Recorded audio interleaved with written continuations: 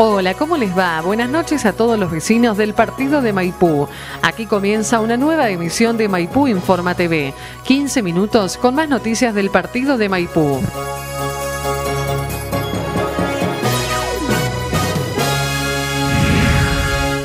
se desarrolló una charla sobre diabetes en el Honorable Consejo Deliberante, organizada por la Secretaría de Salud y Acción Social a cargo de la doctora Mariana Galarraga. El objetivo era que la gente sepa qué es la diabetes, el modo correcto de cuidar su salud y estuvo orientada tanto a personas que padecen la enfermedad, así como también a familiares de las mismas. Transmitirle un poco lo que yo hago con un paciente cuando lo veo por primera vez y tengo que explicar qué es la enfermedad y qué cosas quiero que, entienda esa persona para poder llevar adelante el tratamiento sin problemas. Y vamos a empezar explicándole un poquito qué es la enfermedad. La diabetes, esta es una definición de la enfermedad este, un poquito compleja, pero yo les voy a explicar. Es un grupo de enfermedades metabólicas de múltiples etiologías caracterizadas por hiperglucemia crónica con trastornos de los hidratos de carbono, de las grasas y de las proteínas y resulta de un defecto en la secreción o en la acción de la misma. Yo creo que al paciente para poder hacer bien el tratamiento necesita saber de la enfermedad. Esto no es la idea que sean expertos en diabetes, sino que sepan y tengan el conocimiento de, este, de qué es lo que le pasa a mi cuerpo, por qué tengo la enfermedad, porque entonces sabiendo a partir de ahí podemos actuar y saber que cuando este, hago cuando camino, por qué camino, cuando hago la dieta, por qué tengo que hacer la dieta y cuando tomo el medicamento, por qué tengo que tomar el medicamento y en qué horario del día tengo que tomar el medicamento. Pasa. Este, el diagnóstico, vieron que muchas veces me ha pasado de que nos pasa a los que trabajamos en esto, de que viene una persona asustada y nos dice, este, vengo doctor porque me dijeron que tengo diabetes, tengo 130. Me pinchó mi vecino que es diabético y tengo 130. Y tengo diabetes, entonces empecé a tomar metformina, porque es lo que toma mi vecino. Bueno, no es tan así. Con un solo control de glucosa no se hace el diagnóstico de diabetes. Para poder hacer el diagnóstico de diabetes tengo que tener dos controles más de 126 de glucemia en ayunas, y es la glucemia plasmática, no la glucemia del aparatito. La glucemia del aparatito nos da un valor este, distinto al de la, a la glucemia de la sangre. Es diferente, uno es glucemia capilar y otro es glucemia plasmática. O tener síntomas de diabetes, como por ejemplo orinar mucho, tomar mucha agua, perder peso, y tener una glucemia de más de 200 en sangre en cualquier momento o tener glucemia más de 200 dos horas después de haber hecho una prueba de tolerancia a la glucosa. Las mujeres que han tenido bebés han cursado un embarazo, vieron que durante el embarazo le hacen la prueba de tolerancia a la glucosa. Bueno, es para diagnóstico de enfermedades. Una forma de diabetes se llama diabetes gestacional. ¿Sí? Sí, pasa. ¿Y por qué se produce esto? Esto es lo que pasa normalmente, ¿no es cierto? El aumento de la glucosa en la sangre estimula la secreción de insulina del páncreas. Ustedes saben, hay una hormona que se llama insulina, que la libera el páncreas, y esta hormona es la que se encarga de ingresar la glucosa dentro de la célula. Y la glucosa es necesaria para el alimento de la célula, ¿eh? para la energía. Entonces, cuando hay aumento de la glucosa, aumenta la liberación de insulina, y estas dos estimulan también la captación periférica de la glucosa en los músculos y el tejido adiposo, o sea, en la grasa, e inhiben la salida de glucosa desde el hígado. El hígado nos funciona a nosotros como un depósito de glucosa. Cuando nosotros comemos, nuestro hígado se llena el almacén y llena todos los depósitos de glucosa. Entonces, y libera la glucosa de la sangre. Cuando nosotros nos dormimos la siesta o a las 3 de la mañana que estamos durmiendo, nuestro cerebro sigue necesitando glucosa y es el hígado el que le va liberando esa glucosa que almacenó. ¿sí? Entonces, esta disminución de la liberación de glucosa es lo que sería normalmente. Bueno, muy bien. Para que se desarrolle diabetes es necesario que haya dos cosas. Que la insulina a nivel periférico no actúe como tiene que actuar o sea, eso se llama insulinoresistencia. O que el páncreas que libera insulina libere menor cantidad de insulina que la que necesita el cuerpo.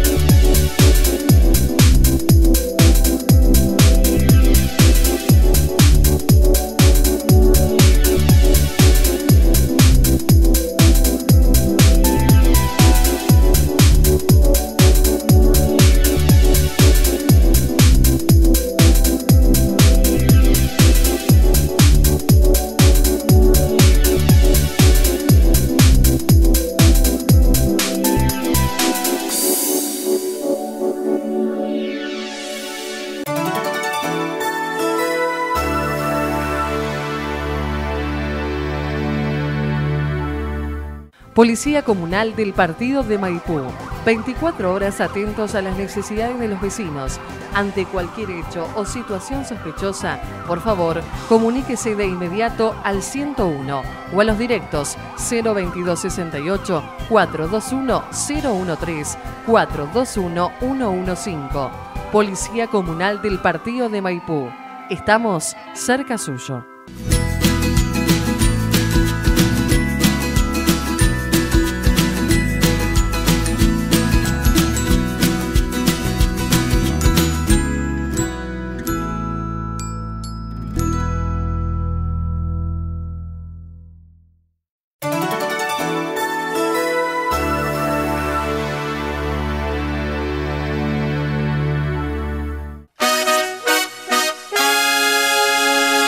Los Juegos Nacionales Evita finalizaron con muy buenos resultados para los deportistas maipuenses. La atleta Elena Armada obtuvo un nuevo récord nacional y medalla de oro en lanzamiento de la bala y medalla de oro en lanzamiento del disco.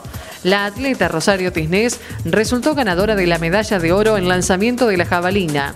Además, el joven Steven Gauna obtuvo medalla de plata en lanzamiento de la bala. A su vez, los chicos de la categoría menores de handball, que dirige Julio Togni en representación de la provincia de Buenos Aires, resultaron ganadores de la medalla de bronce. Vamos al informe. Bueno, llegaron los chicos de los Evitas. Este, quiero felicitar primero antes que nada a nuestros alumnos que, que nos han representado de la mejor manera a todos los maipuenses al trabajo que, han realizado los profes, o que vienen realizando, mejor dicho, de, hace años atrás. Eh, quiero felicitarlo porque hoy se ve que están cosechando lo que, lo que sembraron hace tiempo y, bueno, esto es un orgullo para todos los maipuenses, para el deporte local, de que eh, nos representen en forma nacional. Eh, quiero felicitar a Elena Armada que batió el récord nacional de lanzamiento de la bala eh, se superó un metro 20 centímetros más, lo que significa que tiene una medida para, participar en un mundial, así que eso es fantástico. También sacó medalla de oro en lo que es el lanzamiento de, eh, disco y también felicitar a Rosario Disney que sacó medalla de oro en lanzamiento de la jabalina, a Steven Gauna que sacó medalla eh, de bronce en lanzamiento y también a los chicos de handball, a los menores, a sus profesores que, bueno, que sacaron medalla de bronce en este nacional.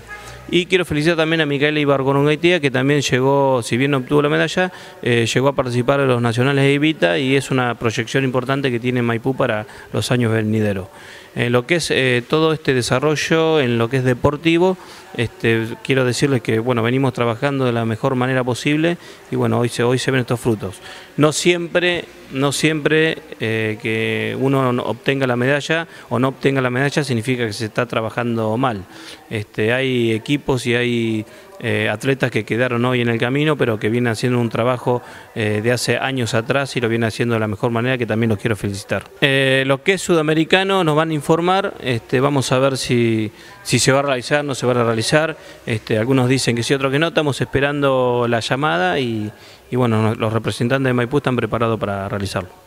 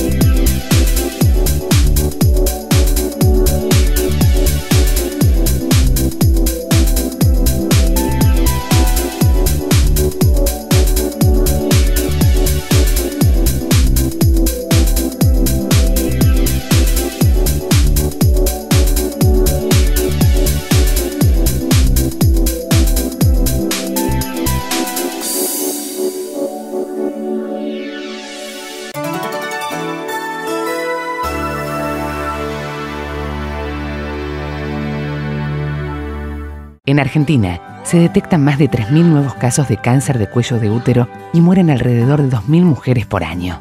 Sin embargo, esta enfermedad se puede prevenir. Si sos mujer y tenés entre 25 y 64 años, visita al ginecólogo y hacete el test de Papa Nicolau, PAP, para poder detectar a tiempo el cáncer de cuello de útero, tratarlo y curarlo. Y si tu hija tiene 11 años, asegúrate de que reciba las tres dosis de la vacuna contra el VPH, virus papiloma humano, para prevenir el cáncer de cuello de útero. El PAP y la vacuna contra el VPH son gratuitos en todos los centros de salud y hospitales públicos del país. Este es un compromiso de todos por el futuro de las mujeres de Argentina. Es un compromiso de todos por mañana. Hospital Municipal de Maipú, Dr. Raúl Montalverne, Secretaría de Salud y Acción Social, Municipio de Maipú.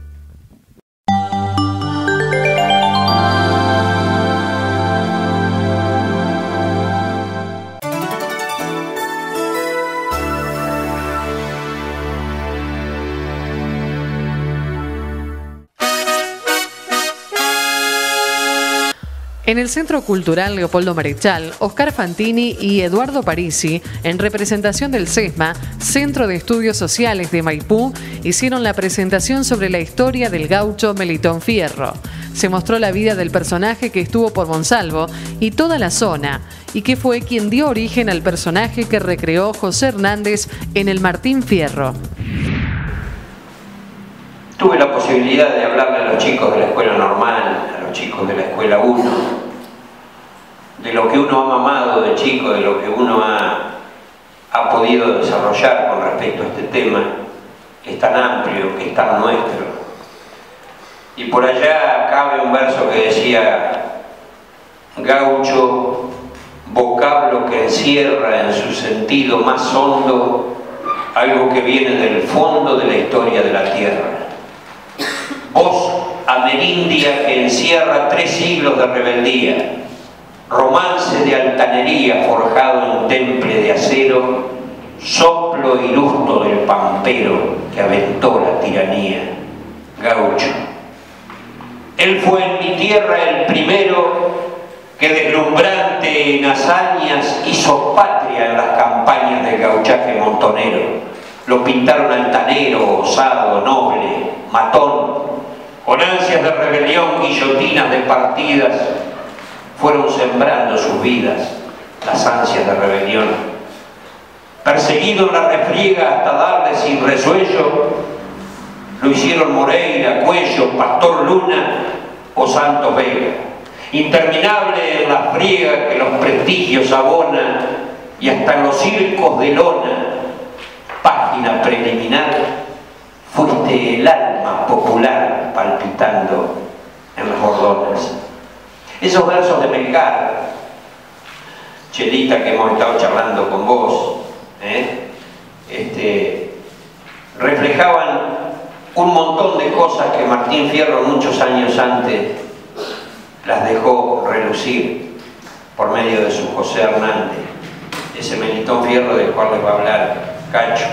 Cacho, profesor de historia nuestro, y bueno, y, y una persona que se ha preocupado mucho por el revisionismo que tanto nos interesa y la posibilidad que tenemos de decirle a los chicos que el gaucho se terminó ya por 1890, cuando el ferrocarril, cuando el, el gaucho errante pasó al sedentarismo total en las estancias.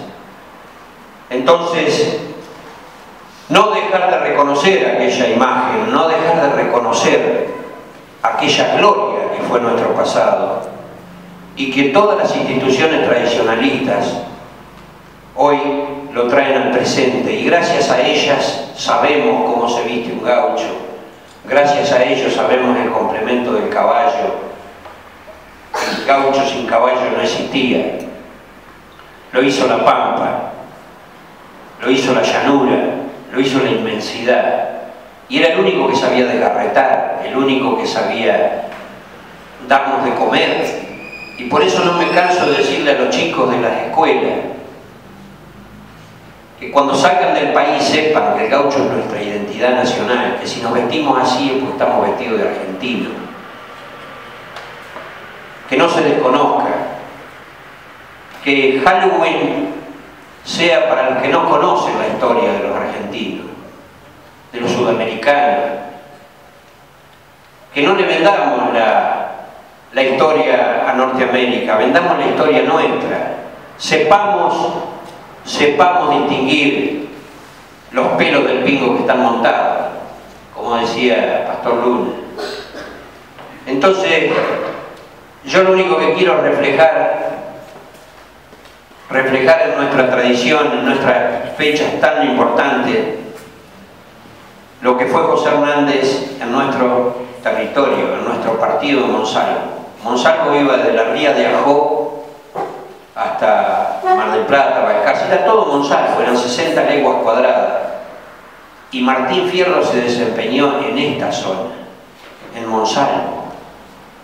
El Martín Fierro es el libro, después de la Biblia, uno de los libros más traducidos, si no el más, el más traducido en el mundo. Y Martín Fierro es de Maipú. Martín Fierro no es de Ayacucho. No es de Maipú. Cuando se delimita Ayacucho, Maipú es Monsalvo y Monsalvo es el pago de Martín Fierro. Puede ser más, más cercano a Dolores, más cercano, pero los que han leído un poquito saben de lo que estoy hablando y, tenemos que hacer la movida que están haciendo los chicos del SESMA, que ahora junto con los de la Bardén y con los de la zona nuestra, vamos a hacer una movida linda para identificarnos con ese, con ese gaucho que es el representante en el mundo nuestro. Entonces, es una lástima que no lo explotemos con todo el sentir y el amor de la tradición. Yo le agradezco a Cacho y a Todo lo que han hecho por este libro, por esta tradición, por la gente que nos representa, por la gente que permanentemente está difundiendo nuestro periodismo en La Pampa, la gente que dice que Argentina está viva y que gracias a nuestra tradición y a nuestro folclore podemos seguir caminando. Hasta aquí compartimos Maipú Informa TV, el encuentro diario con más noticias del partido de Maipú. Los invitamos a seguir informados las 24 horas en las redes sociales, en la web municipiodemaipú.com.ar, Facebook Municipio de Maipú, Twitter Maipú Te Quiero, YouTube Municipio de Maipú Buenos Aires. Muchas gracias por acompañarnos y hasta el próximo encuentro.